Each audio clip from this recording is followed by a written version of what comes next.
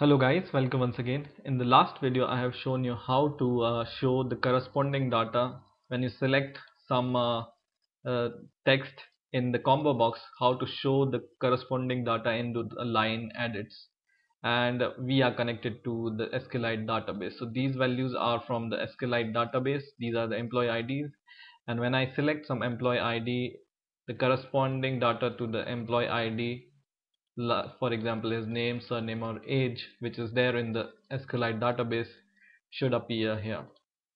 In this video I will show you how to do the same thing with this table view.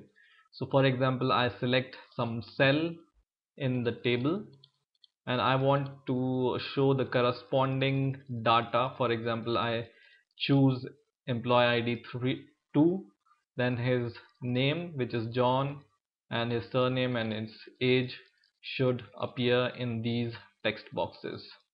Okay so it's a, the code is a little bit different from the last code because here we have multiple indexes in the table. So let's see how we can achieve our goal. So I will close my application first.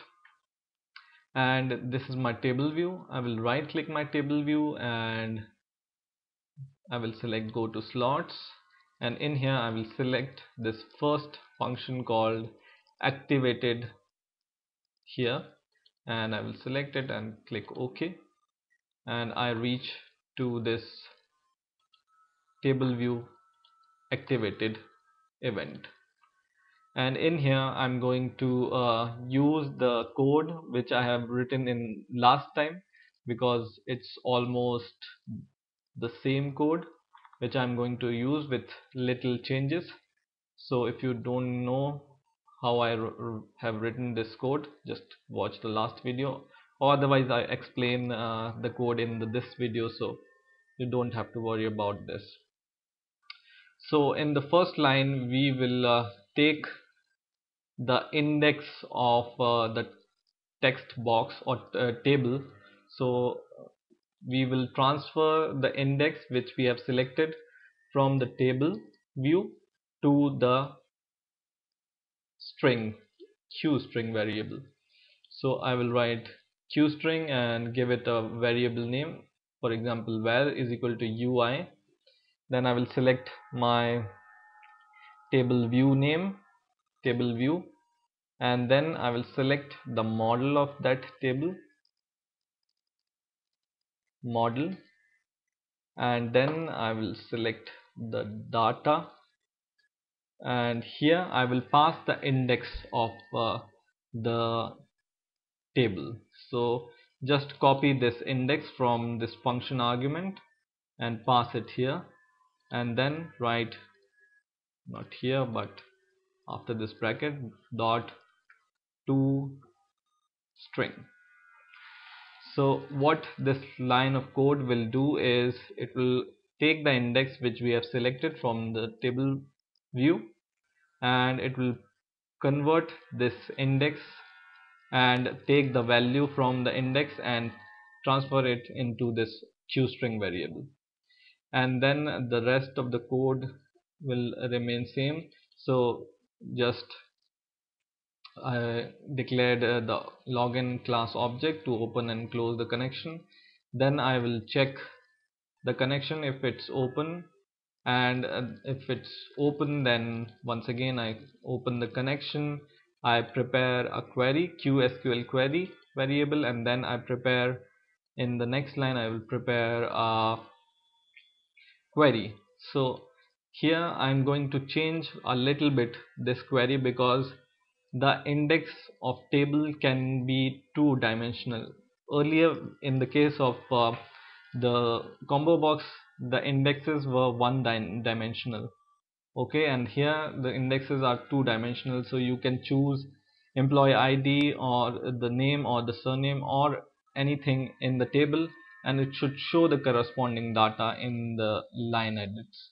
So our uh, query would be select star, star from your table name where your column name is equal to this value which we are taking from the table view. So select star from table name where your database column name is equal to the value which we have here. And then after that we will write or we need to write or condition and then whatever other columns you want to uh, uh, show the uh, values corresponding to the other column. For example I want to show the value according to the name or the surname or the age. So what I will do is or name is equal to single quote and uh, the double quotation and plus plus. And I will pass the same value which we have taken from the table view. So here we are writing or condition because we can choose we will be able to choose from the name column or name cell or the employee ID cell. So I will just copy this or condition two time more or or and where surname or the age right? Age.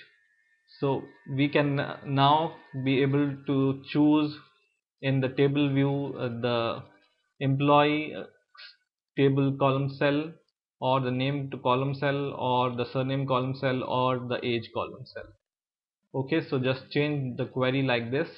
Select star from table where this first column and then pass the value which we were taking from the table same is for the other columns. And then we execute the query and if it's executed whatever value we are getting we are transferring it to the line edits. This I have explained it in the last video. And once you are done with the querying just close the connection with the database. Or if your query is not executed it will show the error. So this is the whole code I'm using. You can just pause and copy the code also. And now I will just build the program and run the program once again. And it's successful. Username and password. I load the data. And now whatever cell I select the corresponding value should come here. Let me open the database so we can verify so I choose employee ID 2 cell. So let's see. Double click it. And here you can see employee ID 2 corresponding data comes here. Now for example I select name column and this cell which has the name Peter. Double click it. And the corresponding data come here.